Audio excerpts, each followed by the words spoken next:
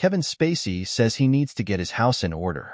In a lengthy interview streamed Tuesday on Piers Morgan's YouTube show, the embattled actor tearfully revealed that he is many millions of dollars in debt due to legal fees racked up defending himself against allegations of sexual misconduct, which has left him uncertain of where he's going to live.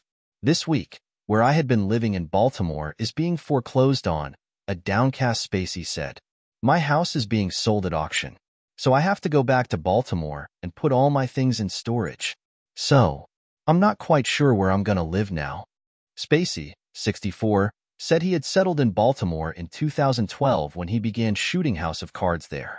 But now, he explained, I can't pay the bills that I owe. Spacey said there have been times he thought he would have to file for bankruptcy, but he's managed to dodge it, at least as of today. When Morgan asked him pointedly how much money he has, Spacey replied, none. He added, I still owe a lot of legal bills that I have not been able to pay, with the amounts in the millions. Spacey has been accused of sexual misconduct by more than a dozen men since 2017. He was found not guilty in a 2023 case in London in which four men said he sexually assaulted them between 2001 and 2013, and he was found not liable in a 2022 civil lawsuit brought by actor Anthony Rapp, who accused Spacey of molesting him in 1986 when he was 14 and Spacey was 26. Spacey is currently involved in another civil trial in the UK in which he's accused of sexually assaulting a man in 2008. He has denied the allegations.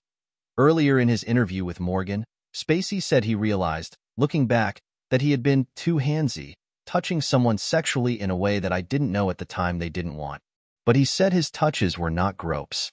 At one point, Morgan said that the way Spacey had been banished from Hollywood was too much, which Spacey responded to with the story of Dalton Trumbo, the late screenwriter who wrote under pseudonyms after he was blacklisted in Hollywood in the 40s and 50s. Spacey recounted how star Kirk Douglas insisted that Trumbo's real name be put on the script for the 1960 classic Spartacus. Morgan then asked if Spacey was waiting for someone to do that for him. I don't believe and never will that the world doesn't have more Kirk Douglases, Spacey said. Last month, a number of high-profile actors, including Sharon Stone, Liam Neeson, F. Murray Abraham, and Stephen Fry defended Spacey in statements to the UK's The Telegraph.